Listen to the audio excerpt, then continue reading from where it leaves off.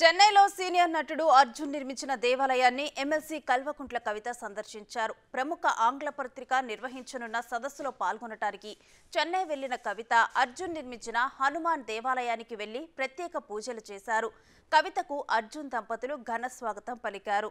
దేశంలోని అతిపెద్ద హనుమాన్ దేవాలయాన్ని నిర్మించినందుకు అర్జున్కు కవిత అభినందనలు తెలిపారు. తమిళనాడు ప్రజలు సంస్కృతి భాష చరిత్ర వారసత్వం పట్ల గర్వంగా ఉంటారని ప్రతి ఒక్కరికి ఆ గౌరవ భావం ఉండాలని అభిప్రాయపడ్డారు. ఉమ్మడి ఆలోచనాతత్వం భారతీయులను ఐక్యంగా ఉంచుతుందనటంలో గర్వంగా ఉందని తెలిపారు.